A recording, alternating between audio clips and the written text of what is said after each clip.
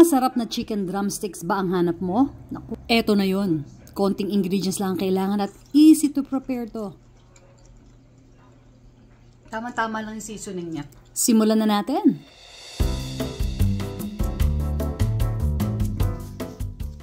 Pinagsama-sama ko lang ang paprika, cumin, garlic powder, salt, pepper at olive oil. Pwede nyong gawing 1 uh, teaspoon ng salt pero para sa akin tamang-tama lang ang uh, alat nito. Then ilagay nyo ang inyong chicken drumsticks sa isang zip bag. Tapos isama ang marinade na ginawa mo kanina. I-toss nyo lang na mabuti sa loob ng bag para ma-absorb na mabuti ang marinade. Then, lagay nyo sa refrigerator for about mga 20 minutes. After 20 minutes, pwede nyo nang i-preheat ang inyong air fryer at 400 degrees Fahrenheit. At pwede nyo nang ilagay ang mga chicken drumsticks sa inyong air fryer. So make sure na may space in between. So kasya sa air fryer ko ang anim na malalaking chicken drumsticks.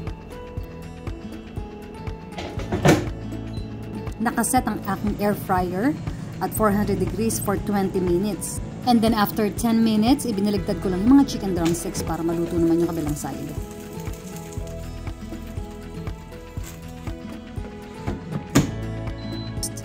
After 5 minutes, gumamit ako ng food thermometer para malaman natin yung temperature sa loob kung luto na ba siya. It's good po na mag-invest tayo sa food thermometer para malaman natin na safe to eat ang ating mga niluluto, especially mga poultry at meat. Sa chicken uh, cuts like this one, the drumsticks ay 165 degrees Fahrenheit ang um, temperature na requirement niya. Then, I turn the chicken one more time and uh, use yung natitirang oras, about 1 minute lang siya para mas mag-crispy uh, pa yung kanyang labas. O, oh, ayan, ready na. Ang sarap, ano, itsura pa lang.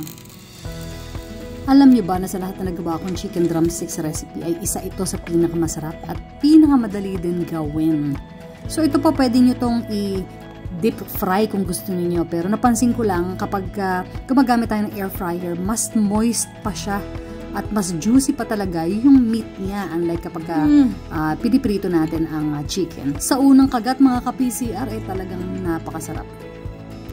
Tama-tama lang yung seasoning niya. Yung loob niya, oh, totoo.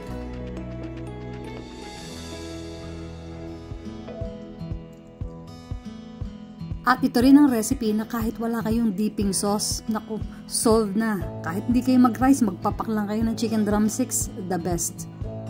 At luto to hanggang loob kung makikita ninyo. At talagang, uh, yeah, napaka-juicy ng loob niya.